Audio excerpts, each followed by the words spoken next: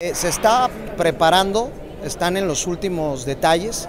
Todo parece indicar que se estará presentando los últimos días de este mes de febrero. Es un plan ambicioso en el buen sentido de la palabra, apegado en definitiva a muchas de las propuestas eh, de campaña que se llevaron a cabo en el proceso electoral y lo estaremos haciendo de una manera muy distinta, una manera muy profesional Estamos hablando de que es la guía prácticamente de lo que se estará haciendo en este gobierno del Estado en los próximos años.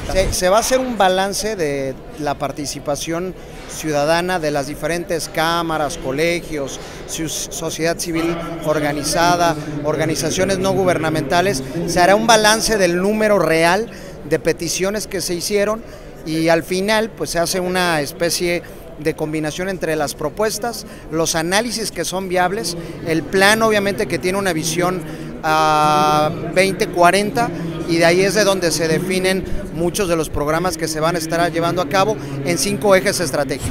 El mensaje de la gobernadora eh, desde el primer día ha sido trabajar a tambor batiente.